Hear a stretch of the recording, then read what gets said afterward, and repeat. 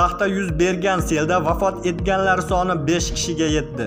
Assalomu alaykum siz tezkor va ishonchli xabarlarni o'tkazib yubormaslik uchun kanalimizga obuna bo'lishni unutmang. Jizzaxning Forish tumanida 20-aprel kuni 4 kishi sel oqimlari oqizib ketishi oqibatida halok bo'ldi. Viloyat prokuraturasi sel oqibatidan yana bir kishi vafot etgani haqida ma'lum qildi. Qayd etilishicha, sel oqibatida halok bo'lganlardan tashqari yana bir kishi bedarak yo'qolgan. Olib borilgan tergovga qadar tekshiruv va tezkor qidiruv tadbirlari natijasida bedarak yo'qolgan shaxs suvga cho'kishi natijasida vafot etgani aniqlanib, uning murdasi topilgan. Bundan tashqari sel toshqinidan 6 kishi turli darajada tan jarohati olgan.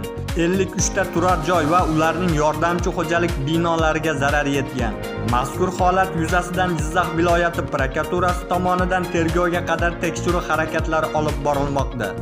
Voqea sodir bo'lgan hududda tezkor shtab faoliyati yo'lga qo'yilgan bo'lib, toshqin oqibatlari bartaraf etilmoqda.